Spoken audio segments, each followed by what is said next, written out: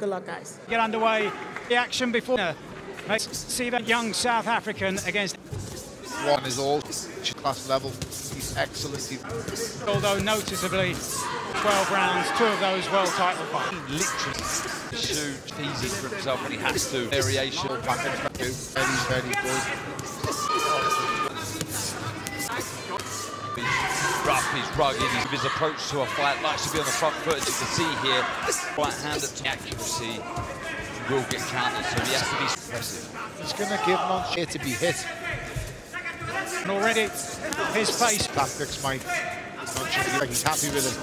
He's good with this kind of fight. Yeah, really is good pressure Curiel. I do feel like you said, Tony, this may play into that.